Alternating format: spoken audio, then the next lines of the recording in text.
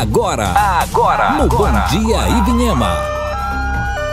Plantão 193, diretamente do Corpo de Bombeiros de Ivinhema. As ocorrências das últimas 24 horas e sempre uma dica de interesse da comunidade.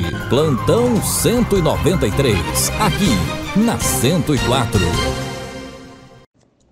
Bom dia a todos que nos acompanham nas rádios e mídias digitais. Por aqui, Sargento Novaes.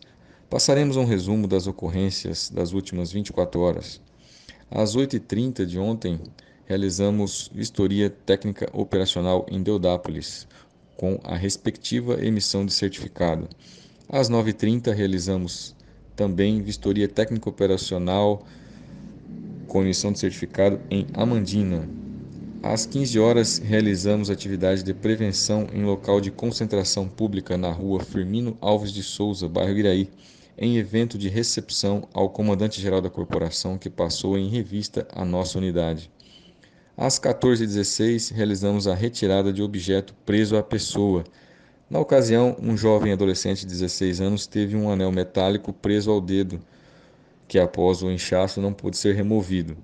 Com o emprego de uma microretífica, realizamos a ruptura da peça metálica com sua posterior remoção. O adolescente não se feriu. Às 20h51, atendemos adolescente do sexo feminino que sofreu lesão no joelho durante a prática de atividade de educação física na Escola Estadual Reinaldo Massa. Por fim, cumpre registrar é, o aumento expressivo na ocorrências de é, infectados pelo vírus da dengue. Por isso é importante o combate ao mosquito vetor Aedes aegypti. Os mosquitos se reproduzem em água limpa e se proliferam dentro dos domicílios e suas adjacências, terrenos baldios. Qualquer recipiente com água limpa, parada, como caixas d'água, latas e pneus, são ambientes ideais para que a fêmea do mosquito deposite seus ovos. Portanto, deve-se evitar o acúmulo de água parada em recipientes destampados. Acrescente também que as pessoas que apresentarem sinais e sintomas da doença devem procurar, no primeiro momento, os postos de saúde do, dos respectivos bairros. Para mais informações do nosso trabalho, basta seguir Bombeiros Underline Ivinhema no Instagram e Corpo de Bombeiros Militar em Ivinhema no Facebook.